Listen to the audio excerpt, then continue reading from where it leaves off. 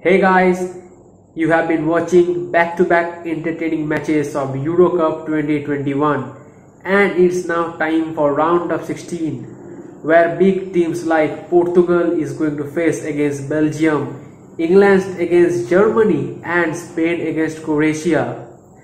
And I have personal request from an Indian football fan that they will share their preview and prediction for the upcoming matches. And today I have got Somo and Subhajit who will share their prediction and preview on the matches which are going to take place from 26 June. Uh, Somo, so I hope you are enjo- uh, I hope you're enjoying Euro Cup matches, back-to-back matches. And Mhm. now, as we know that it's now time for round of 16, right? Yes. If we see the first match is between Wales and Denmark. Mm-hmm. So already Denmark have a good record against Wales. If we see that, Yes, yes, definitely. They have, they have. but somehow uh, Christian Eriksen will miss the match because, as all, all know, that Christian Eriksen is not going to play football anymore. Uh, that is that is uh, under like uh, a discussion like whether he will be able to like uh, whether his health will permit him to play or not. Uh, that is totally under review. Uh, but that's a very unfortunate incident that happened with Eriksen. Um, we uh, like wish for a speedy recovery for him, and uh, hope some good uh, like uh, news will be ahead of us so that we will able again to see him in future days. And if you see the player list, there are lots of players, and one of them is Yussuf Poulsen, who Yeah. have played well against Russia in the last match. Yes, definitely he did. And somehow, if we see Wales and Wales, Gareth Bale is unable to mark any goal in the opening matches. Mhm. that that is really that is really unfortunate like uh, to see uh, like a potential player like Gareth Bale like uh, missing out on opportunities and uh, not uh, like able to perform to hit potentials.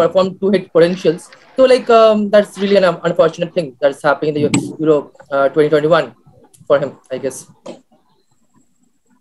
So, what do you think that what will happen on the match day See, between Wales and uh, Denmark? like uh, if you go to by the statistics uh, like uh, see uh, like as you have mentioned that denmark has uh, like uh, have nine wins uh, and whereas uh, wales has uh, four when they were head to head against each other.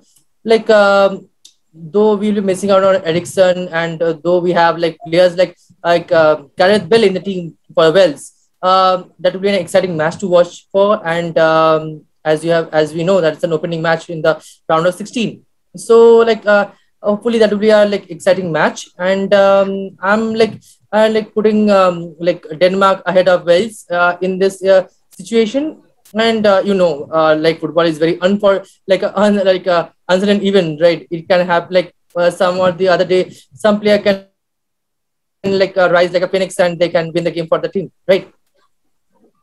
And if we see Wales team list, and there are a bunch of players who have already played in EPL, and they are also playing in Juventus. If we name out Aaron Ramsey, then we have Daniel James, who is playing for Man United, and Daniel Ward, who is a Leicester City Mhm. goalkeeper. Yeah. So, Subhojit, Uh, what do you think? So, what do you think, Subhojit? Uh, who can make a difference in this match?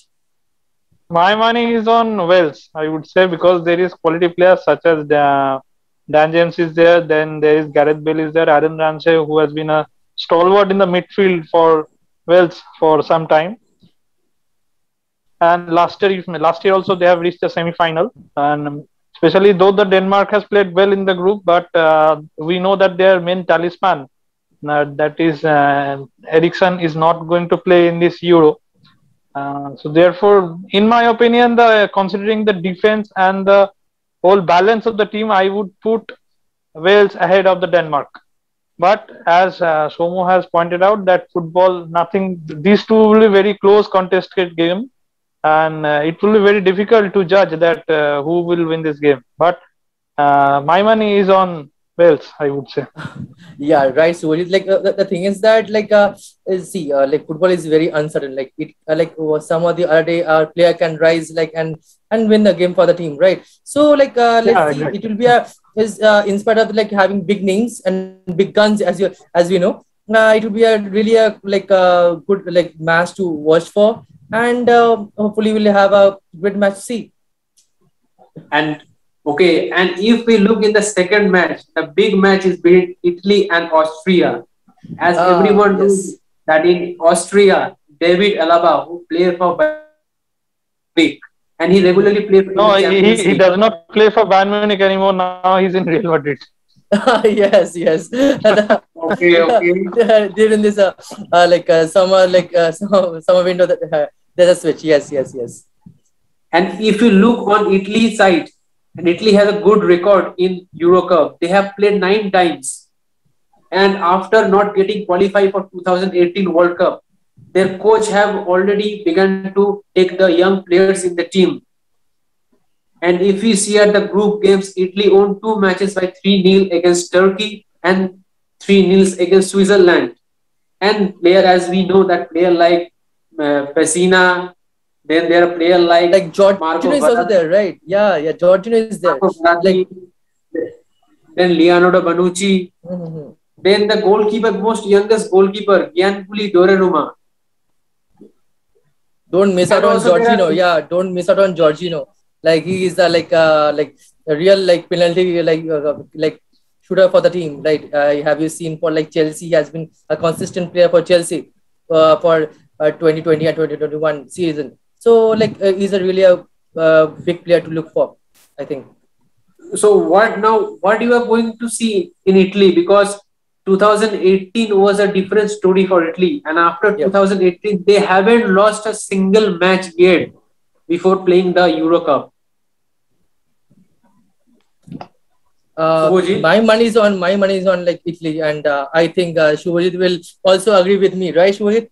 yeah, yeah. There is no option to give any decent view. yes, yes, definitely, because we have like Uh, uh, uh,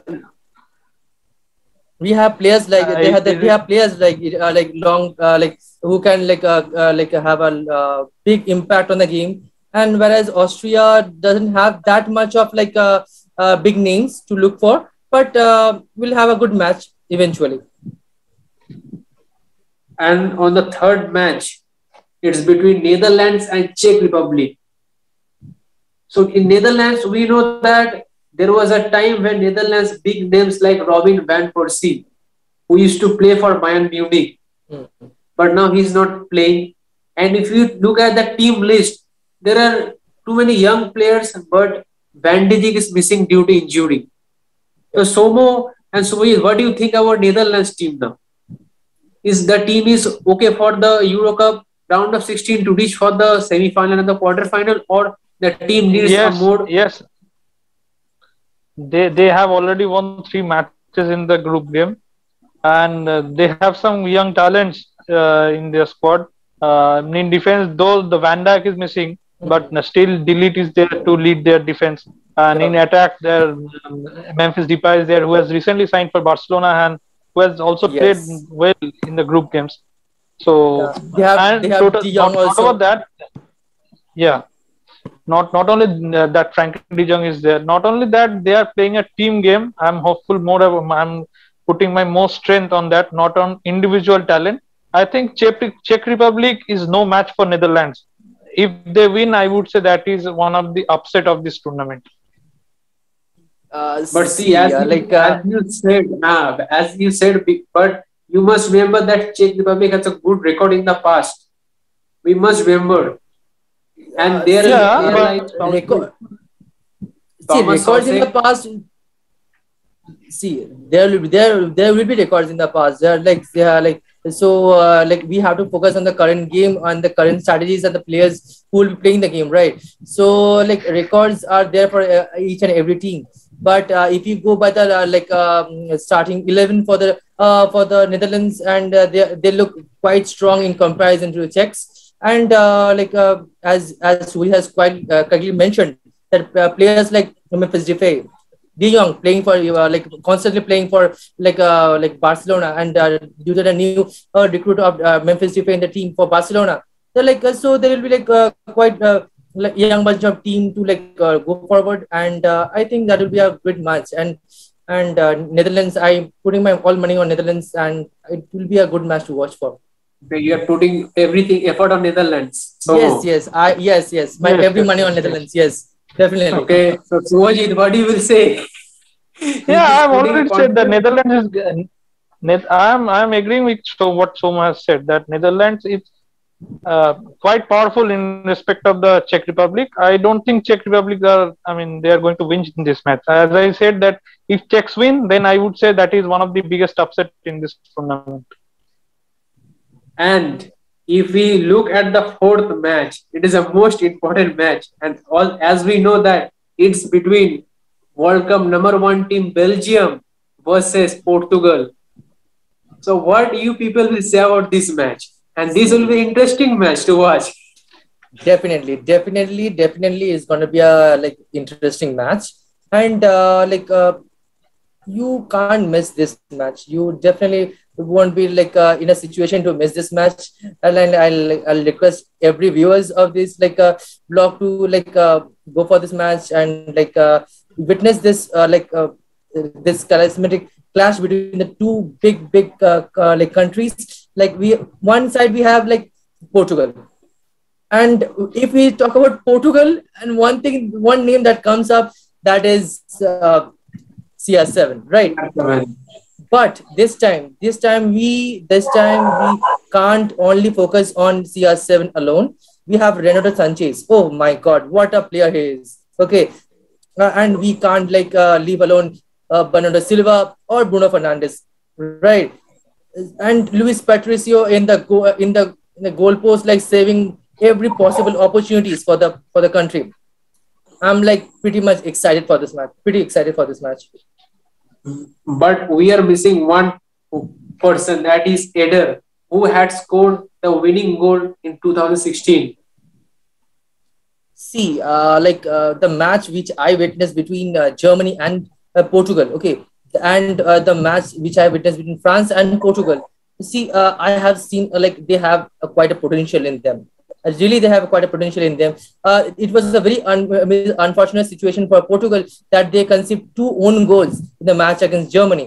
Okay, Yes. that was a really a close match, right, Subhajit? So like and uh, like Yes, uh, yes. as I, as I mentioned, like the match between France. Oh God, that match was really uh, like a match to like to look forward, right? That was a really a good match, uh, and uh, the both the goals scored by CR7, and as you as you know, like CR7 is the leading goal scorer, uh, like uh, being uh, like uh, for for for any uh, for any team. He has around uh, like 109 goals in his name, and uh, I'm like pretty much excited for this match. And if we see on the other side, on the Belgium side, there are a bunch of players, these well-named players, and now one name Yes. is Romelu Yeah. Lukaku. Then They- not only Lukaku, look at the if you look at the squad of the Belgium, then there is Lukaku, then there is Eden- Hazard, then there is most importantly there is Kevin De Bruyne. yes, And uh, yes, what yes. a team that is! yes. What a team that is! Yeah, I mean, but- I would say this is the best chance for the Belgium to win the uh, win any international trophy because their core group that is Lukaku, Hazard, Ben, uh, uh, Axel Witsel, or uh, Kevin De Bruyne, they are getting aged. I mean, aged, and uh, for maximum they will play four more years in the top form. So I think this is the prime time for them to lead Belgium to any international trophy. But as uh, Somo has pointed out, that Portugal is not only about Cristiano Ronaldo anymore. yes. There is Bruno Fernandes. There is and and if you if you look at the team that Andres Silva, who has scored uh, 27 or 29 goals in last year Bundesliga, is not getting chances. He is playing only 10 or 5 minutes. Uh, so that indicate the team strength, the team's uh, strength of the strength of the side bench of Portugal. So I would say this is a 50-50 match. Even even uh, if you see that Bruno Fernandes, who has been, I mean, fantastic for Manchester United, was replaced in the last match by Joe Moutinho. So no one is Yeah. indispensable He in this did. team. Even I, even Mhm. yeah, And even even if Cristiano Ronaldo may, he can also be removed. I mean, replaced in this team in this Portugal team. okay, and if we look at the fifth match, it's between Croatia and Spain. Already we know that Spain have won two times Euro Cup in 2008 and 2012, and that time was the golden era. But if you look on the Croatia side, the players like Mario Mandzukic is not playing. Then Ivan Rakitic have already retired in last summer. So what do you think that can Croatia play well with keeping Luka Modric, or they will be not definitely, definitely, definitely. Uh, sort of, as you mentioned, like uh, there there was a time for Spain, right? But I find that that era has while already departed for Spain, and, Croatia having Luka on the like uh, in the midfield, and he has been a splendid performer in this uh, Euro, as you have seen for the last match. Okay, uh, like uh, it was a really crucial match for Croatia, and and he scored on that match, right? And uh, whereas on the other hand, if you see for Spain, though they have won against uh, Scotland for like 5-0, so that uh, that match on that match, Morata, the main striker of the of the of the, of the, team, he's missing out. He uh, he missed an easy chance of a penalty. Okay, that that that can happen, but he is uh, look looking out of form. He's looking really out of form, which I can figure out properly. Uh, and uh, having a main striker out of form is like really in a disadvantage position for Spain. And if you look on the Spain side, so many players are missing, like uh, Hector Bellerin, Jesus Navas, and Ansu Fati is missing the match due to injury. See, a lot of things happening during this COVID situation, right? Many other players are missing out due to COVID also. So, like that is really unfortunate situation for Spain. But we can't like uh, just go on like individual players, right? As I mentioned, uh, though they have won against five 0 no, but uh, my uh, my like money is on Croatia because that uh, that game uh, I think uh, due to the uh, like uh, potential striker like uh, uh, like uh, Perisic is also there, so like they can like pull it out against Spain. I think. Okay, so as we are saying that Croatia can win the match. Yeah. So definitely. Subhajit, Yes, are yes, you of course. saying that Spain? see the see the unfortunate thing is that the golden generation of the Spain that from 2008 to 2012 they have won three international trophies during this period and the main strength of the team was midfield because there was Xavi, Iniesta, Busquets, Fabregas and many others then Xabi Alonso though there was striker like Torres and uh, David Villa but still their main strength was lied in the midfield but it is unfortunate to say uh, to see that there is no midfielder in the Spain squad who is a match for 35 year old Luka Modric. He can outplay the whole mid, uh, whole midfield of the Spain. That is uh, that is I mean I would say a very sharp declination of the quality of player of Spain. Beside, as Shomo has pointed out, that Morata is not playing well. He has missed many easy chances and I would Yes. say if they want to win the game, they should immediately replace Morata with Gerard Moreno. Gerard Moreno has scored very, I mean, much goals in Villarreal in La Liga, and he has played well. So I think if they want to win the game, they should replace Morata with Gerard Moreno. and we are also missing and- out on uh, Sergio Ramos. Uh, you know, like uh, due to as he has he has not been picked for the team this year. Yeah, yeah. so yeah. that's also a big And if you look- Spain. Okay. So and if you look in the sixth match, and the sixth match is between France and Switzerland, and France, there are also a bunch of players, and everyone know there are a bunch of players who play for Chelsea, Juventus, and Bayern Munich, and they are player like Rafael Varane, then Hugo Lloris, Griezmann, Olivier Giroud, Kante, then Dembele, Coman, Kylian Mbappe. List of players, good players who can do anything in the game. you you the missed the match- most important one, Paul Pogba. and and also yeah. Karim Benzema, and also Karim Yeah, Benzema. yeah, yeah, yeah. Karim- Karim Yeah, how can we miss on Karim Benzema, right? Uh, sorry for that. Karim, Karim Benzema is playing for six years. After six years, he's playing. And the last match, Yeah. have scored two goals against Portugal. yeah see uh like see uh, as from the very beginning okay uh, from the very beginning uh as they were the champions or like the world champions right so all people were like uh like they're all like very much uh opportunists on france okay they know that they will be going very good but but in the group stage they have like uh they have been a big uh, like blow for them when they played against Hungary, right? When they played against Hungary, they drew the match, right? Yeah, and they also, yeah, and they also drew the match against the last match against Portugal, right? We were all were like very much like uh, like uh, like uh, sure that they they're going to be on the on the top four teams playing the semifinals.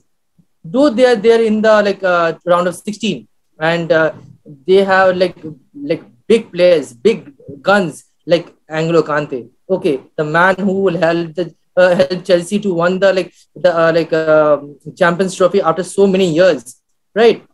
Players like Karim Benzema, Pogba, like you can't miss on anyone.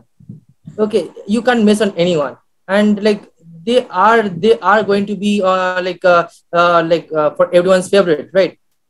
So I'm also lo- like looking forward for them but you don't know like what may happen uh, in the match, right? But uh, our op- their opponent is Switzerland. So will Switzerland be able to make some thing in the game, or as Somo and See. What do you think about Switzerland? See, if if France can play with their full potential, Switzerland Switzerland is not a hurdle for them.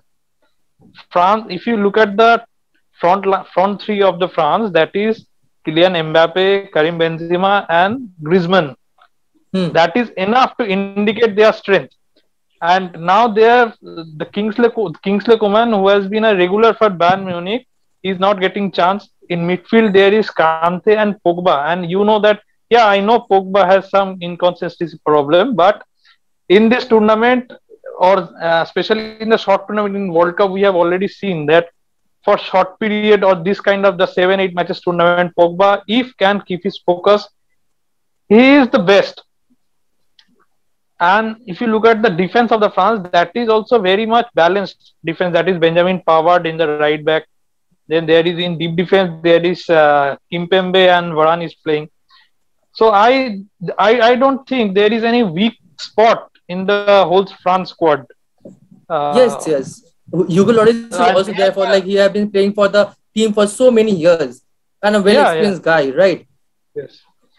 I don't think there is any weak spot, and they are the hot favorite to win this Euro.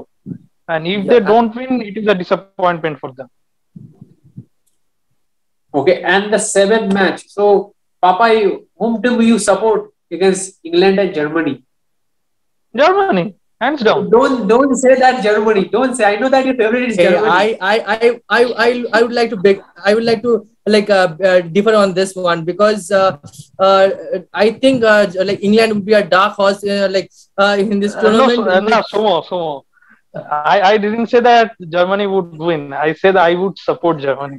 okay okay that's uh, okay okay uh, the, so the, because like uh, as as you have seen the team like okay uh, starting from like the, from the very like uh, the strikers like Harry Kane Sterling then we have like Foden and Mason Mount okay like they're like on fire right now but I am not like uh, not able to see that England uh, because uh, they are missing out on opportunities. Uh, they were not able to play to up to their potential, uh, which I think they should be doing it. Um, I think they were keeping the game for the big uh, matches like against Germany, and uh, Germany uh, has big names, big But names like Kai Havertz as in the like in the striker, like in Toni Kroos as like uh, in, a, in a deep defense and midfield. Like that's that's a big team. That's a big team.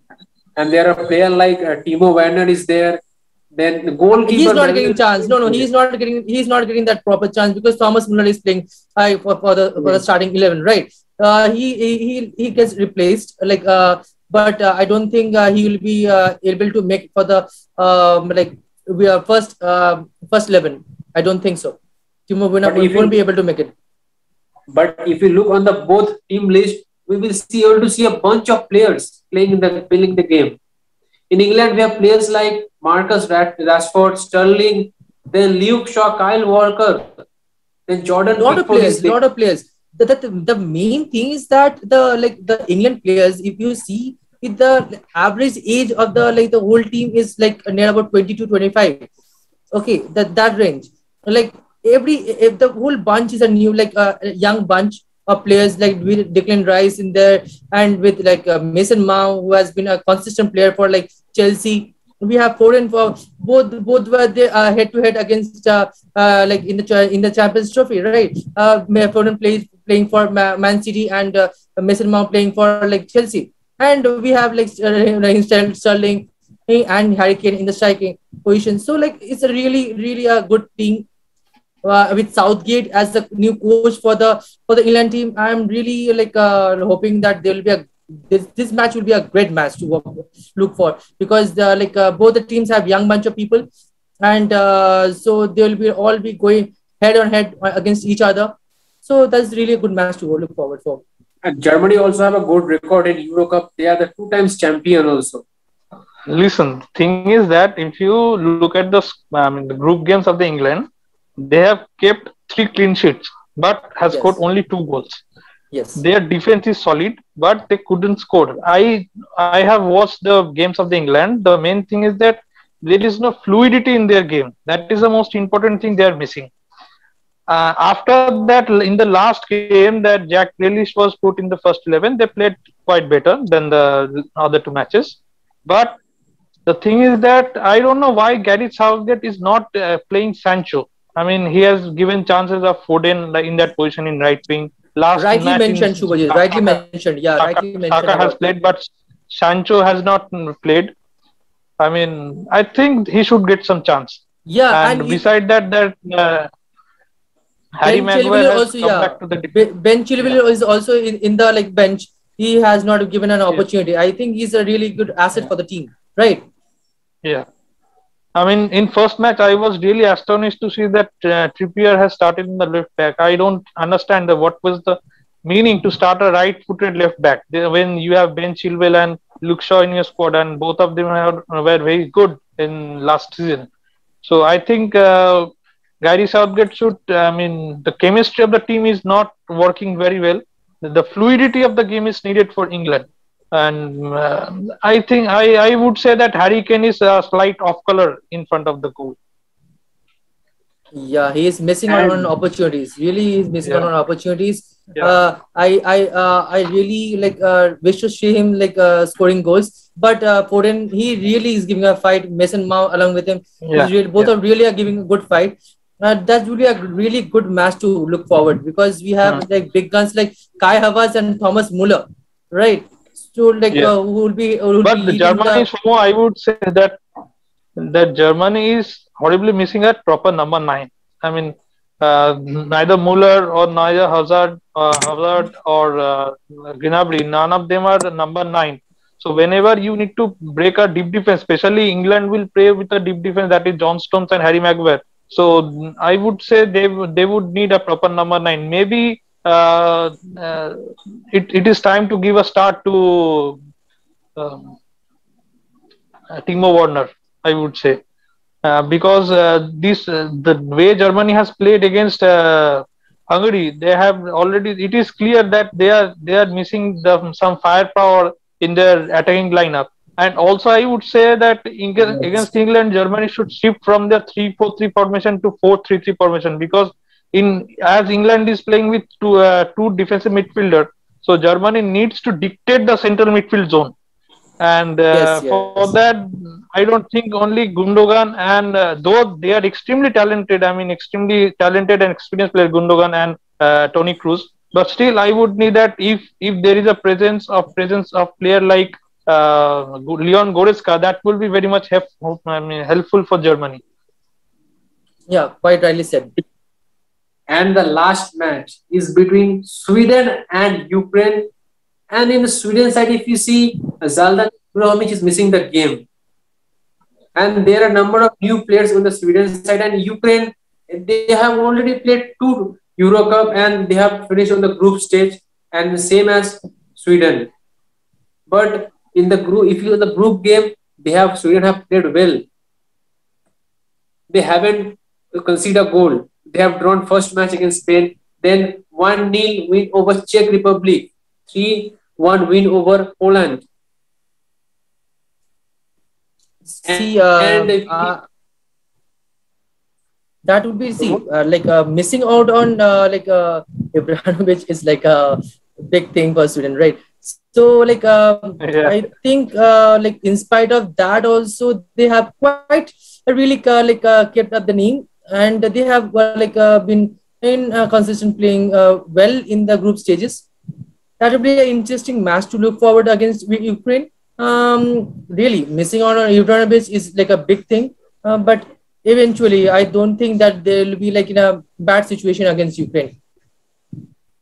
Yeah, yeah, I agree with Somo that uh, though they are missing their main superstar, but uh, still, I, I would say that uh, uh, considering the the games of the team, both the teams have played, I would say that uh, Sweden is in a better position because they have the first of all they have a rock solid defense. That that is a very good thing. That if you score one goal and you know that your uh, defense can hold that goal, that is a big thing to say.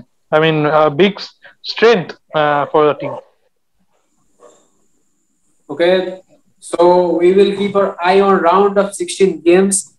Thank you so much. Thank you, Soji, for giving us a time and sharing your review. And I hope we will meet again. So till then, goodbye. Yeah, we are Yeah, always good. looking for that one. Bye bye. Yeah, yeah, yeah, yeah.